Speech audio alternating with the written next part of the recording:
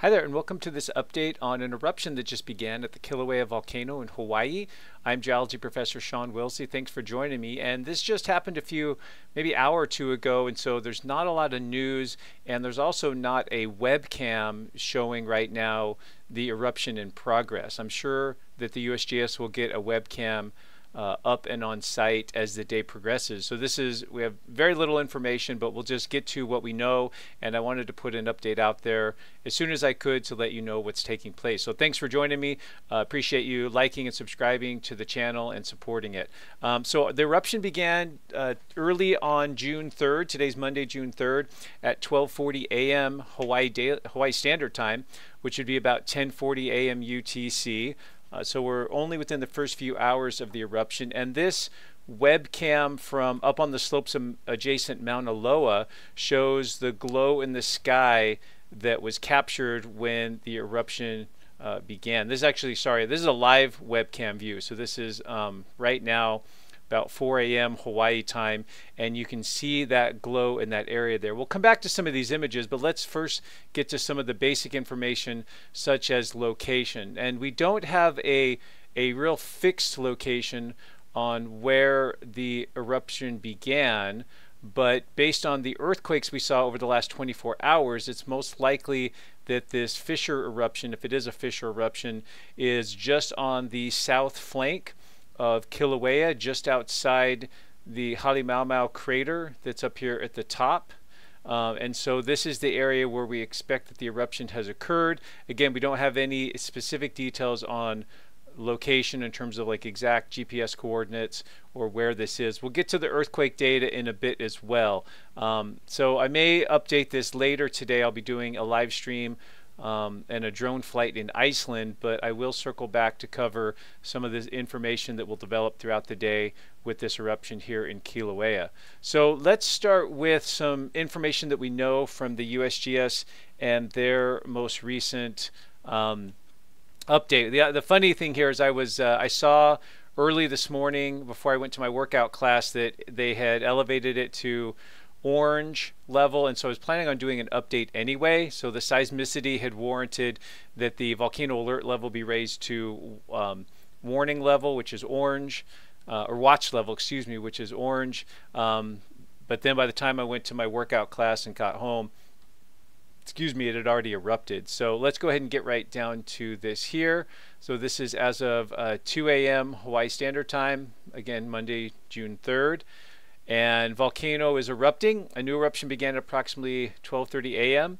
on Monday, June 3rd, likely about a mile south of Kilauea caldera and north of the Koa'e fault system and Hilina Pali Road. So let me give you a little bit of uh, an orientation as to where that is. So here is the Kilauea caldera, the Halemaumau crater is down here, and the Hilina Pali Road Let's see if we zoom in enough. There it is. Here it is cutting up over here. So, and then these blue lines are some of the bigger faults in the Koa'e fault system. So more or less in this zone, right on the, the south flank of this. It doesn't seem to be in the lower east rift or the upper east rift zone uh, based on the earthquake location. So it's most likely that the eruption was in that area there. Let's continue on with the USGS update. Um, so accordingly, because the eruption began, they raised the warning level, alert level from orange to red. Glow is visible in webcam imagery indicating that lava is currently erupting from fissures. The most recent eruption in this region was December 1974 and it lasted only about six hours. At this time it's not possible to say how long the eruption will last. Uh, they're continuing to monitor it for signs of increasing or decreasing activity and if anything changes they'll, um, they'll be, provide an update. Uh, and that's kind of it. Um, and then if you come down further, let's see, we might need to go to the previous uh, update here. They did, because of the activity uh, here, so this was the prior update, and let me make that a little bit bigger for you. Um, so this was the update that was issued last evening, um, so Sunday about 11 p.m. Hawaii time. And it wasn't erupting at that time, but they had the elevated seismicity, ground deformation, all the classic signs of a possible eruption or at least an intrusion. Um, and they couldn't say for sure if it was going to erupt. It could stay underground as an intrusion. and they talk about the total number of earthquakes 250 earthquakes over the past eight hours, including a magnitude 4.1 and a 4.0. Uh, and then they had 12 that were between 3 and 4, and then they kind of break down the distribution there. But, you know, uh, few big earthquakes and more as you get down in the magnitude scale. Um, most of them were 2 to 3 kilometers depth, about 1 to 2 miles. And they did end up closing. I'm trying to find it in here. Um, yeah, the park closed uh, one of the parking lots and the Keanakakoi area. So areas in the park that were close to this earthquake swarm were closed.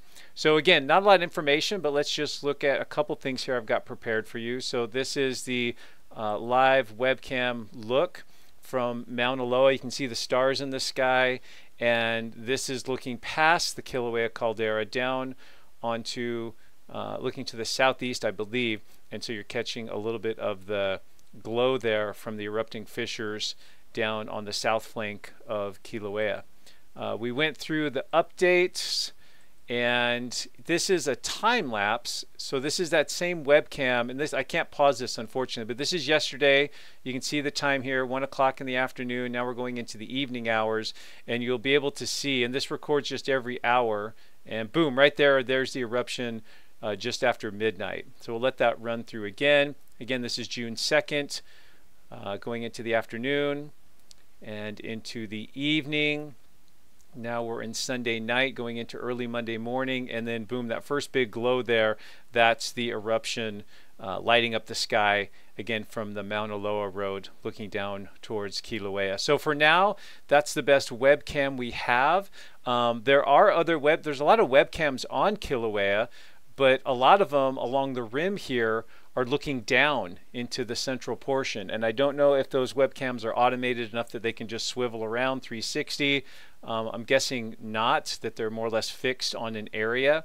And so they're not able to, uh, you know, operate those independently. So what this is going to mean, I'm assuming, is they're going to need to go down uh, at some point, probably once the sun is up, and they can really get a sense of the and characterize the eruption, how extensive it is, uh, and safely put a webcam in somewhere nearby. Uh, but of course, you know that's that's not their number one priority right now. Their number one priori priority is not letting this eruption be viewable to the general public. They're thinking about uh, safety within the park, um, safety to infrastructure, and that sort of thing. So we'll have to see how this plays out. I'm not sure what the timetable would be on when we actually get a webcam on it. And so let's just remember, uh, while it's a bit frustrating, this is a huge volcanic system. There are lots of places where Kilauea can and has erupted in the past within its summit uh, caldera and crater system, along the southwest rift zone, along the east rift zone. And while it does have these flank eruptions on occasion, they're kind of the anomaly to some degree. And so that's partly why we don't have webcams fixed in this area, is that this is the least likely, all things being equal, this is a, a low likelihood or low probability region for an eruption. But nonetheless, we're, we're experiencing a, a flank eruption um, from a, a, point or fissure on here. And you can see where these 1974 flows were over here. Uh, a couple other things I've got prepared for you. Here's a nice view uh, I found on Facebook that someone had taken and posted on the US. The USGS had posted it. Uh, let's make sure we get the credit here. Um, yeah, courtesy of Rita Morris and Matt Wall with the Keck Observatory. So this is from Mauna Kea, another big volcano on the Big Island, looking more or less south or southeast towards Kilauea and showing some of that glow. So I'm assuming these folks were up at the observatory uh, doing some astronomy work or, or, observing, and they were able to actually capture the glow. You can see some of the telescopes here on the flank of Mauna Kea, and of course the, the beautiful sky and, and Milky Way there. So really nice picture there.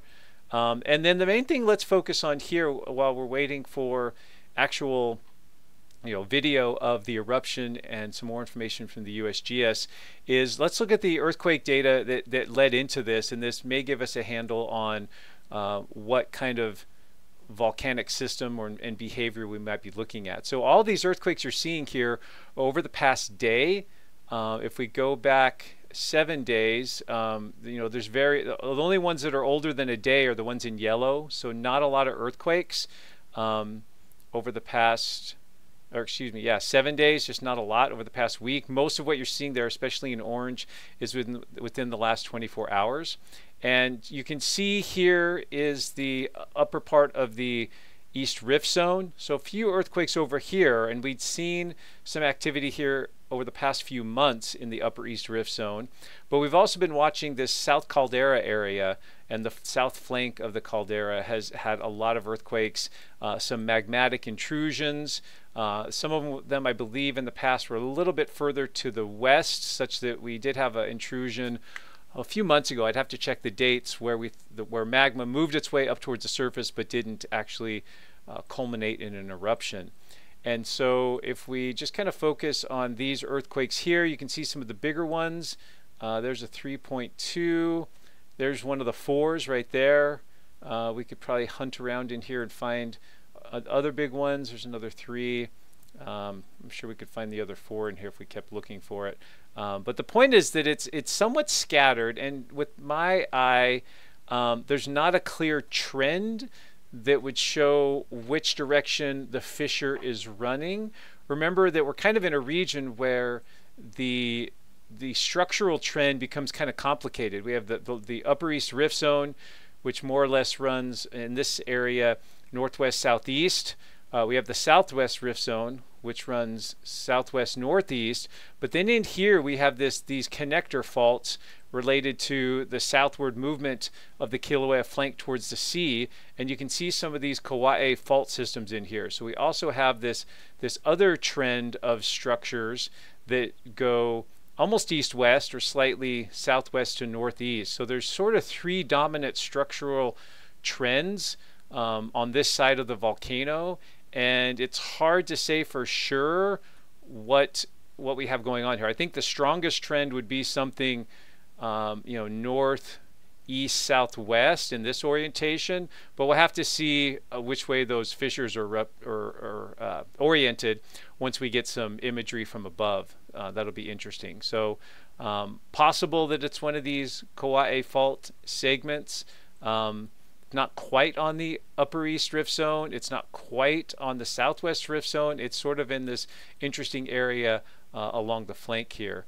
And I guess if we look at the the eruption in 1974, um, we can get in here and actually see some of those fissures that went sort of uh, not quite east-west, but you know southwest northeastish, um, more or less, yeah, part of the Koa'e fault system. So these other eruptive vents from 1974 definitely followed the Koa'e fault orientation more so than either of the rift zones. And so if we look back at these here, um, that trend to me doesn't look quite as uh, strong, that east-west trend, but we'll have to see how the how this plays out. So so there's some of the earthquakes, um, and then I can also show you those earthquakes animated, so you can see how quickly those came in.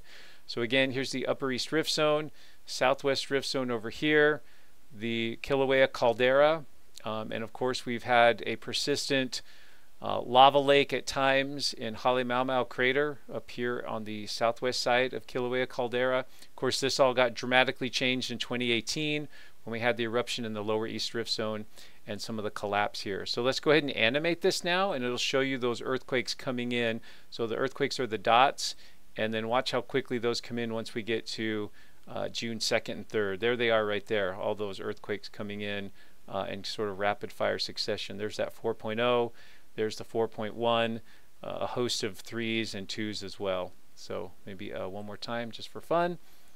So, no, we got to drag this back too. So here we are on June 1st, which would have been Saturday. Now we're rolling into Sunday, not a lot, and then Sunday evening, and then going into um, Monday when the eruption began. So there's our earthquake pattern uh, shown over time.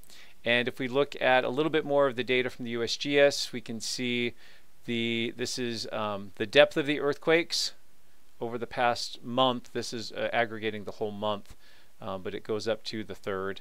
And then showing mostly those shallow earthquakes, and then location-wise, this is right in the summit region here of Kilauea. This is all longitude, so the further we go to the right, they're getting further off to the east, and if we go this way, it's getting more to the, the west. Usually they put a map in here that goes with that, but I didn't see that here this time. And then this graph is pretty telling as well. This is total earthquakes, uh, and, and earthquakes per day is the blue part. So each day over the past month, how many earthquakes per day, and we had a, a peak here in May, uh, early May, and then we had another peak here in sort of mid-May, and then things went back down to sort of background levels of less than 100 earthquakes per day, and then boom, you can see this big spike here at the end on June 3rd, second to third anyway, where we had over 400 earthquakes in a day, and then the the red line just shows cumulative earthquakes, so that's adding up all the earthquakes over this whole month time interval. So when you get a big spike like that, you see a, a a similar rise in the red line, and then you can see it just go ballistic right here um, and this takes into account not just the cumulative number of earthquakes, but the, the size of the earthquakes too. So how much energy they're releasing. So a single magnitude four is going to send that red line up uh, a lot more than a bunch of you know magnitude ones or twos. Uh, same thing here, looking at dates and earthquakes. So you know lots of earthquakes, but you can see clustering here, and again early May, mid-May, and then this most recent uh, spat of earthquakes here, including some of these huge circles here, those magnitude fours. So releasing much more energy over the last 24 or so hours there. And of course, that culminated in the eruption. So uh, one more little thing there. Just found a, a single uh, news story on Big Island Now, one of the Hawaiian news stories. Um, using that same photo there. So a lot of preliminary information, not much to talk about yet. It'll be interesting to see uh, how this develops over the course of the day. I will try to provide an update later today when I do a live stream uh, where I'll be focusing uh, on not just Iceland, but we'll also spend some time looking at Kilauea, and I'll try to pull together all the information I can at that time. That'll be later today at uh, 2 p.m. in Mountain Daylight Time, or that would be 8 p.m. UTC. But there's an announcement uh, on my on the community tab on my on my YouTube channel. So thanks for joining me. Thanks for supporting this, and I hope this was helpful and gave you some insights into this uh, new eruption on the flank of Kilauea, something we haven't seen in quite a while. We've seen stuff in the crater, we've seen stuff in the Lower East Rift Zone in 2018, uh, but we haven't seen much on the flank of Kilauea uh, for quite some time. So this is sort of a new chapter and a new phase. It'll be interesting to see how long this eruption persists. It may be short-lived uh, maybe you know an indicator of, of the, a new pattern of eruptions that take place in a new area on the volcano. So we'll just have to wait and see. But thanks again for joining me and have a great day. Take care.